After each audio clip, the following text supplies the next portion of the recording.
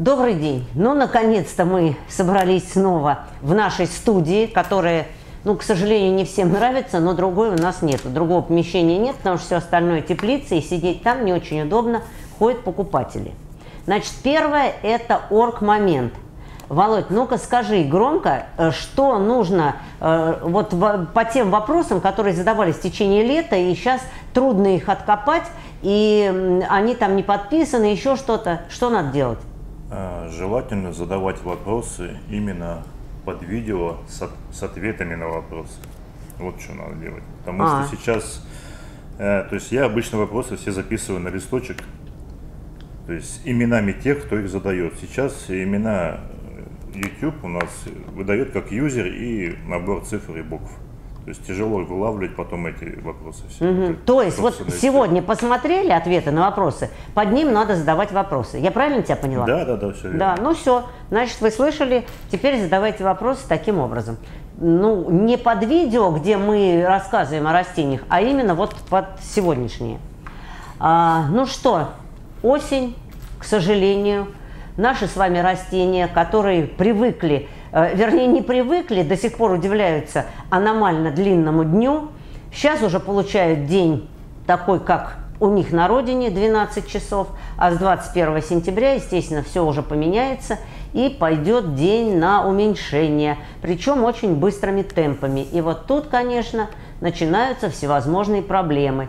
Поэтому внимательно отнеситесь, если кто-то может делать досветку, было бы замечательно, или хотя бы просто включать свет в этой комнате и продлевать э, хоть какой-то, какой-то световой день. Ну, давай, Володь, первый вопрос, что там у нас? Драцена маргината угу. досталась с четырьмя макушками. Оказалось, что одна из макушек без точки роста – Отрезала ее, укоренила в воде, посадила в грунт. Скажите, пожалуйста, когда нет точки роста, она откуда-нибудь даст новый побег или просто будет сидеть на одном и том же месте? Ну, смотрите, мы много раз показывали, каким образом мы размножаем драцены. Любую, неважно, маргинаты или любой другой сорт мы отрезаем макушку, если она растет в один ствол, и тут же просыпаются э, куча э, почек э, спящих боковых, которые э, иногда даже слишком много, и мы тоже отрезаем какие-то куски. Поэтому это же не пальма, это у пальмы э, утрата э, верхушечной почки, она ей грозит гибелью. А, здесь-то, конечно, Конечно, какая разница, какой кусок закончил э, верхушечный рост. У вас просто как бы черенок, как будто э, срезанный где-то из середины этой палки. Конечно, даст, обязательно ждите и, и все будет. Можно ли тилансию вешать над увлажнителем воздуха? Ой, ну вот это я не знаю, это вы смотрите аккуратнее, потому что, э, несмотря на то, что у нас э, телянсии воду поглощает из э, воздуха. Если это будет все время очень влажно, она просто может загнить у вас и все, и в один прекрасный момент рассыпаться на куски. Вот так тоже бывает. Поэтому зачем? Ей нужен свет, понимаете? Если даже вы ее будете опрыскивать редко, то ничего страшного с ней не произойдет. Но мы много раз уже говорили и разные мнения слушали на этот счет. Но все-таки это свет и, конечно, хоть какое-то увлажнение. Поэтому, если вы там раз-два дня ее опрыснете э, из пульверизатора, ну, из этого нашего опрыскивателя обычного, даже ручного, то этого будет вполне достаточно. А вешать ее над увлажнителем воздуха, значит, все время э, там будет скапливаться так или иначе влага, потому что, вы же видите, из него выходит как будто пар. И, соответственно, то есть это очень высокая концентрация воды в воздухе. Мне кажется, не стоит. Скажите, когда лучше размножать бегонии, в каком месяце? Ну, как всегда, весной. Весной. Март. Начинает увеличиваться день. Март, апрель, май, да и все лето, собственно говоря, потому что день длинный. И растение полно сил. А можно и зимой размножать. Ну, просто э, естественно, что все процессы замедляются в связи с коротким днем. А если у вас есть досветка, если у вас есть какой-то, как наш Алексей Куприянов говорит, пропагатор – знаешь, что такое пропагатор? Нет. Пропагатор – это такой парничок, у которого и влажность поддерживается, и, возможно, свет, и еще и тепло. снизу для укоренения, для проращивания семян нужно тепло. И поэтому, если у вас есть такой коврик, вот у нас э, в нашем пропагаторе есть такой коврик, э, ну, электрический. И естественно, что э, все стоит в тепле. Э, конечно, это тоже ускоряет процесс укоренения. Плющ, угу. она же хедера. Угу. Можно ли его подсаживать к османтусу в горшке? Да можно подсаживать к чему угодно. Вы подсаживаете к чему хотите. Просто как эти растения среагируют друг на друга, для, на друга это, это уже вопрос. Потому что иногда бывает, что плющ начинает все заполонять, что полезет на это растение. Ну, это же легко контролировать. Поэтому подсаживайте смело. Какое, опять-таки, время года лучше подрезать налину? А, слушайте, подрезать можно в любое время года. Мы тоже много раз об этом говорили. Ну, понятно, что мы все время толчем воду в ступе, но неважно, пусть. Значит, э, э, подрезать можно когда угодно. Но вот рост начнется на этом месте или укоренение этой верхушки, конечно, лучше это делать весной, потому что это все-таки как-то э, процесс ускоряется, э, ну, ну, открытие новых почек, рост новых почек и, соответственно, процесс укоренения. А зимой же она может у вас просто долго стоять, ничего не давать потом. Мельтония. Купила уценку, пересадила, корни непонятные, тонкие были. Она совсем пожелтела. Пересадила опять, посмотрела видео, корни прогнившие, срезала, Подержала марганцы, две девочки малюсенькие есть, но нет корней. Вопрос, можно ли как-то в домашних условиях помочь нарастить корешков? Ну, слушайте, помочь-то, конечно, трудновато, но если у вас пошли э, почки, то это неизбежно вызовет рост корней. Просто поставьте теперь в хорошее место, чтобы эти почки развивались, и, соответственно, э, ну, можно подкормить там слабым каким-то раствором удобрений. Э, все, держите умеренно влажно. Э, и э, орхидея же как растет? Она же каждый год меняет корни практически, большинство из них. И, соответственно, новые корни появляются только с новыми побегами. Поэтому у вас все впереди. Я думаю, что пойдет она. Ну, мельтония такая, ну, это мельтониопсис, вот это то, что продается в магазинах. Э, мне кажется, очень неприхотливое растение. Поэтому, если срезать все э, гнилое, то, естественно, из оставшегося хорошего, э, хороших бульб э, пойдут, конечно, новые почки обязательно. И укоренится все само по себе. Нефролепис. Ему примерно 8 лет. Э, старые ваи я отрезала, пересаживала перевалкой. Сейчас он выглядит так, как будто сидит на стоге сена. Это старые недостриженные стебляки вай и корней.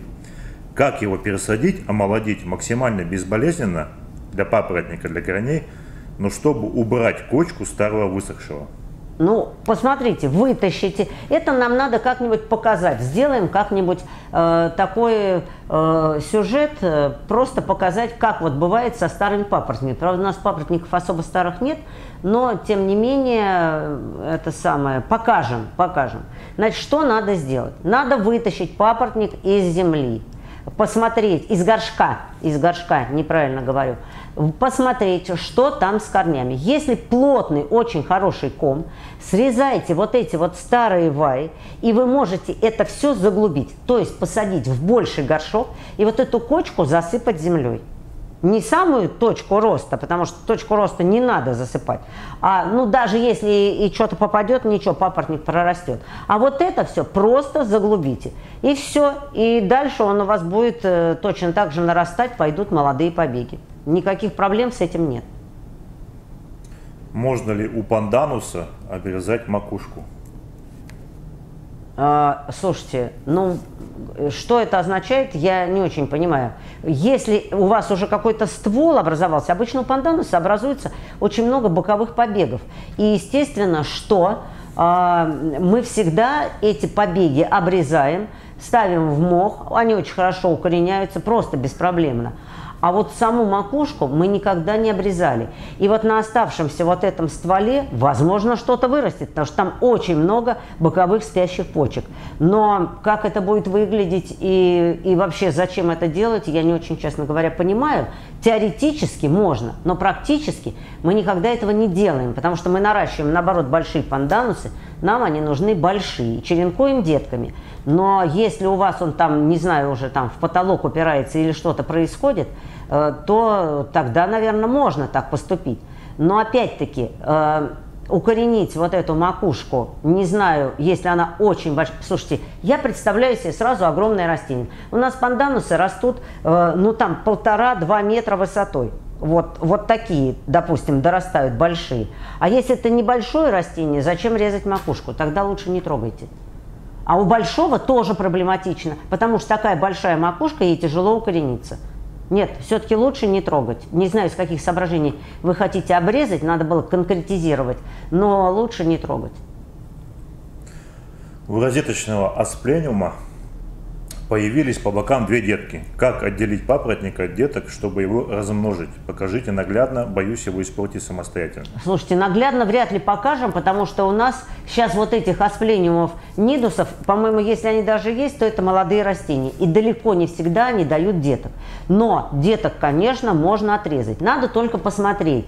Эм, дать им вырасти, во-первых, э, чтобы было понятно, что там, возможно, есть какая-то корневая система. Можно их укоренить и без корневой системы. Но вот это вот основание, оно как бы должно созреть, оно должно э, уже уплотниться, ну не быть совсем рыхлым и молодым. Поэтому не торопитесь, дайте этим деткам подрасти, а потом вы уже увидите сами. И отделить их будет легко, и если тем более там будут корешки, то, соответственно, без проблем вы посадите в другие горшки, будут новые растения. Но лучше не торопиться, дать дать им все-таки э, каким-то образом уже повзрослеть, вот так скажем. Подскажите, пожалуйста, на черешках аглонемы в месте, где она переходит в лист, образуются как бы порезы бежевого цвета. Насекомых на листьях я не замечала. Что это может быть, вредитель или болезнь? В остальном растение выглядит нормально и растет. Ну, слушайте, если растение выглядит нормально и растет, значит для, для профилактики мы можем обработать его э, коктейлем э, из препаратов от гриба и от насекомых. Но сказать вот так заочно мне очень тяжело, потому что надо конкретно смотреть. Потому что вот э, даже на своих растениях, вот я смотрю какие-то повреждения, допустим, я считаю, что это одно. Потом кто-то приходит и говорит, нет, нет, я это видела, это вот там, это вот так. И э, правду найти тяжело, поэтому на всякий случай обработайте, но если это никак не сказывается на росте растений, может это какие-то механические у вас повреждения, мне трудно так сказать заочно, не могу. Просит подсказать угу. лучшее удобрение для пальм. Что-то с маркета или профессиональное. Какое, слушайте, э, азот, калий, фосфор никто не отменял. И для пальм какое-то супер удобрение, э, соответственно, а, не нужно, а, б, э, его и не существует. Что значит специально для пальм? Вообще, вы поймите, когда у вас пишут для роз, для пальм, для чего-то, это на что можно влиять? Где-то больше азота, и тогда мы влияем на э, листовую массу, где-то, допустим, калия, где-то фосфора, и тогда мы влияем либо на цветение, либо на э, завязывание плодов, если э, этих э, элементов будет больше. Но на самом деле э, берите любое удобрение э, универсальное, все, и ваша пальма будет вам благодарна. Что там придумывать-то? Не надо ничего придумывать. Вот я говорю, начинаются вот эти придумки. Ах, какое-то супер удобрение. А потом приходишь, а пальма просто не полита. Или стоит где-нибудь в углу. Я же это вижу вот сплошь да рядом. Понимаете, да? Если даже вы не будете ее удобрять, она будет стоять в хорошем месте и регулярный полив, она и так у вас будет хорошо себя чувствовать. А это вот начинается какое-то удобрение специальное, еще давайте HB обрабатывать, любимая тоже э, ерунда какая-то, не знаю. Ну, в общем, короче, короче, любое удобрение, фертика, универсальных удобрений полно. Есть с органикой, есть э, чистая э, такая это, э, химия неорганическая. Поэтому что хотите, то и выберите банану около 7 лет. Раньше давал деток, теперь уже третий год не дает. Почему? Почему? Истощился.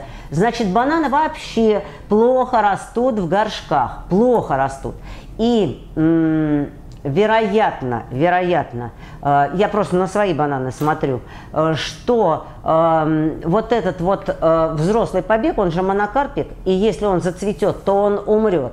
А если он не цветет, Э, то, соответственно, он будет еще существовать достаточно долго. Но деток уже не дает, потому что уже вот то, что он должен был образовывать в естественных условиях, то есть образует молодые побеги, старый в силу э, того, что он отцвел, э, отмирает, те набирают э, э, как бы силу и начинают расти.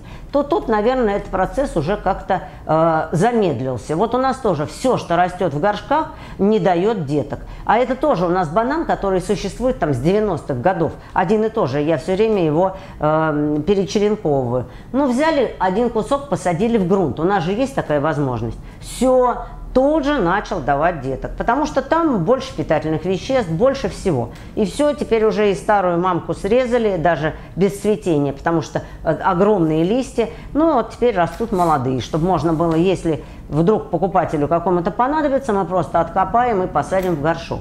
Вот таким вот образом. Поэтому, да, наверное, так и бывает. Не может он без конца давать деток. Один и тот же. Надо было оставить детку, и дать ей вырасти, и она будет давать тогда уже своих детей. И тогда вот этот процесс будет идти, конечно, постоянно. А так вот, видимо, постарел ваш банан за 8 лет-то, правда? Ну, естественно. Ну. Хамидерея. Что делать, чтобы она давала корневую поросль? Вот можно подумать, что существуют какие-то волшебные средства, но хамидары и так дает корневую поросль. Это же, как правило, э, не один побег там растет. У вас что, в один побег растет хамидары? Если в один побег, значит настанет момент, когда она даст боковую поросль потому что ей это свойственно. Вот, но опять-таки, опять-таки, вы понимаете, э, окружающие условия. Если у вас хорошее освещение, если у вас равномерный полив, иногда подкармливаете, понятно, что она неизбежно даст боковые побеги. Но если уход черт знает какой, то, извините, уже что ждать. А вот, как правило, вот так, вот, вот вот приходят у меня замороченные какие-то тетки, вот разные, да, и начинают это самое. А потом показывают картинку своего растения. Без слез не взглянешь. Да вы сначала сделайте, чтобы этот вот конкретный побег хорошо рос, а потом уже будем говорить о том, э, что он там может вам дать. Может, пересушиваете когда-то. Вот и тут же замедляется рост, э, корневая система э, ослабевает. Вот и не дает вам деток. Например, например. Вот, потому что если условия хорошие, то э, вряд ли такое происходит.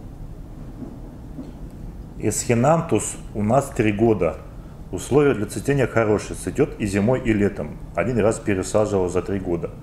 И размножая его обрезкой. Но листья помельчили. Что сделать, чтобы листья стали крупнее, как были раньше? Ну, возможно, вы делаете то, что вот сделали мне э, в прошлом году, вернее, этой, что ли, весной, я уже забыла. Мои э, эти тепличницы взяли, обрезали э, колумны, просто взяли, вот, обрезали до горшка. Я когда пришла, я вообще говорю, вы, вы вообще в своем уме, вот это, вы как могли вот такое вот сделать? Естественно, что если вы обрезаете эскинантус на черенки, нельзя эксплуатировать одно и то же растение на черенкование бесконечно. Вот измельчание листьев, это и означает, что слишком много точек роста. Видимо, вырастает новый побег, вы его тоже режете. Дайте нескольким побегам набрать силу. Пока не режьте, и я думаю, что листья станут нормальными. А когда вот такая обрезка, ну просто, ну что это означает? И их спрашиваешь, они стоят там, глазами хлопают. Кто им сказал обрезать вот таким вот образом? Даже если у вас очень много побегов, концы можно обрезать, например, но основную массу растения оставить, если мы хотим размножать его дальше. А если не хотим, ну тогда уже делайте, что хотите. Вот. Ну, в общем, вот, вот такое происходит. При этом Какие-то другие растения, они очень хорошо размножают, понимают там, э, что филодендрон нельзя срезать под корень. А вот здесь вот почему-то голова как-то не сработала. Ну, вероятно, э, у вас тоже по этой причине измельчали листья. Плектрантус ампельный. Нужно ли его формировать? Хотите, формируйте. Не хотите, не формируйте. Зачем формирует плектрантус? Он растет неравномерно. Один побег длиннее, другой, ну или любое другое ампельное растение. Если вы хотите, сделайте красивую юбочку. Не хотите, пусть растет так, как растет. Ему это совершенно не нужно. Но это нужно нам с вами. Поэтому, если как бы хотите сделать его более симпатичным, естественно, подрезайте. Он даст дополнительные побеги, будет более пушистым. Не хотите, не подрезайте, будет так, как есть. Почему у моей мураи ягоды горькие? А у нашей мураи какие ягоды? Мне никогда в голову не приходило их пробовать. Может, и у нашей горькие, но... А зачем есть мураю-то, я не очень понимаю. А и там что есть-то? Это вот такое семечко, вот, вот, меньше моего ногтя. Она вообще там, там нету, вот когда мы, я сею, э, мы не снимаем эту кожуру. Почему? Потому что... Потому что ее не снимешь, да, она да, очень да. тонкая. Зачем есть мураю-то, я что-то не знаю. В общем, ничего на этот э, вопрос ответа нет. Что только людям в голову не приходит, а? Во-первых, я, да, вот я, я вообще никогда не слышала, чтобы кто-то ел мураю.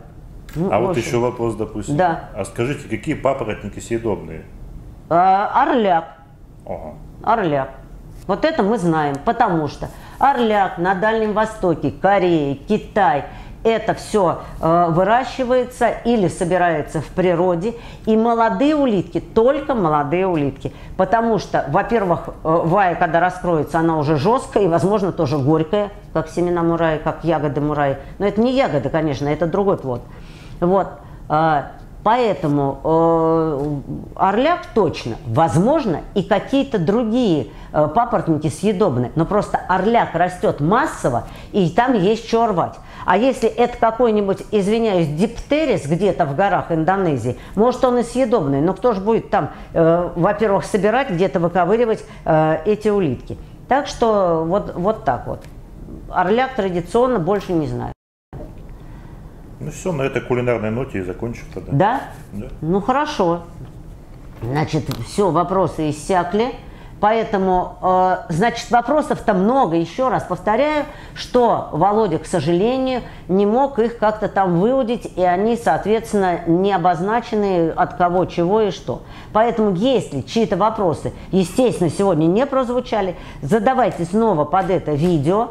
А если вообще я на эти вопросы уже отвечала, вы еще периодически пересматриваете вот эти ответы на вопросы. Их же можно пересматривать? Конечно. Да, конечно. Я думаю, что я уже на все ответила по два раза, но я люблю с вами беседовать, и вдруг там окажется что-то такое, ваш вопрос полезен вообще для повторения для всех наших зрителей. И, ну, в общем, в общем, встречи наши будут, ответы на вопросы продолжаться. Так что, ну, в общем, решайте.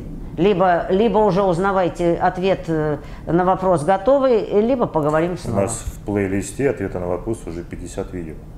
Что 50? 50 видео в ответах 50, А, вот, 50 видео. Ну, вряд ли есть что-то. Вот сейчас даже вот снимать ролики. И, слушайте, я не знаю, что снимать. Ну, уже все обмусолили от и до. Я э, как-то вот рассказывала, что когда я что-то открываю в интернете, рецепт какой-то или еще что-то, но меня просто поражает, зачем люди так подробно все это рассказывают, показывают, время тянут. Или что? Не дождешься, не дождешься вот того ответа, э, который, соответственно, мне нужен. Понимаете? Там мешают три часа, там показывают одно и то же. Вот, вот это как бы я не люблю. Поэтому если я уже что-то показывала, ну вроде какой смысл показывать заново? Приходят разные тетеньки у меня тут и говорят, ой, ой, нет, все равно, мы будем смотреть все, что угодно. Еще раз говорю, цель моих – показов – это все-таки э, донести до зрителя что-то интересное, что-то новое, э, то, чего он не знает. А просто вы включаете, э, пьете чай, и я там где-то у вас что-то бубню, но мне это не интересно, понимаете? Это совершенно не нужно. Для этого есть артисты, которые вас развлекают, певцы, которые поют. Я как бы не, не для этого э, все вот это делала. Вот. И естественно, что задавая вопросы конкретные по тому, что вот еще показать, ну вот сейчас мы поняли, значит, что мы показываем. Асплениум мы не можем показать, у нас нет. И вот еще что-то говорят. Что-то мы хотели показать-то, я говорю, а, как папоротник посадить, не пролететь. Да, да. Вот. вот это конкретная вещь. А с этим сталкиваются все, и это, безусловно, можно показать. Так что давайте поконкретнее, что показывать, и я уже тогда буду что-то вам говорить. Потому что такие вот, э, допустим, э, э, привоз э, этих бромелевых э, бывает крайне редко. Или Голландия, она же тоже не приходит каждый день. И там тоже приходит, как правило, одно и то же. Вот. Показывать это бесконечно невозможно. А вот эти вот какие-то приемы, э, не знаю, агротехнические, мне кажется, мы уже все показали. Ну, кроме разве что старого нефролиписа. И то его надо еще поискать, есть он у нас или нет. До свидания, всем здоровья, до новых встреч.